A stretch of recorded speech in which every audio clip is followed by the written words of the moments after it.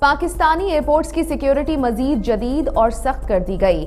بارودی مواد جانچنے کے لیے کراچی، لاہور، اسلام آباد کے ہوائی اڈوں پر اٹھارہ مشینیں نصب کر دی گئی ہیں۔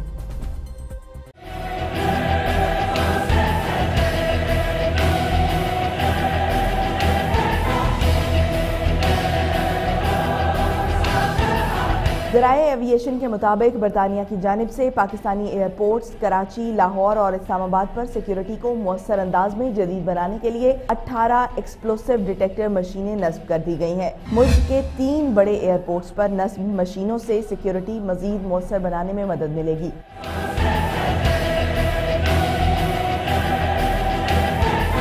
ذرائع کے مطابق جہاز کے لیے نقصان دہ آلات اور بارودی مواد جانچنے کے لیے جدید ٹیکنالوجی ایئرپورٹس پر نصب کی گئی ہے۔ جدید مشینیں کراچی، اسلام آباد اور لاہور سے صرف برطانیہ جانے والی پروازوں کے لیے ہیں، جبکہ جدید بارودی مواد اور دیگر آلات کی سرچنگ کے لیے، مشینوں کی ٹریننگ کے لیے برطانوی ڈی ایف ٹی ٹیم بھی کراچی پہنچ گئی ہے۔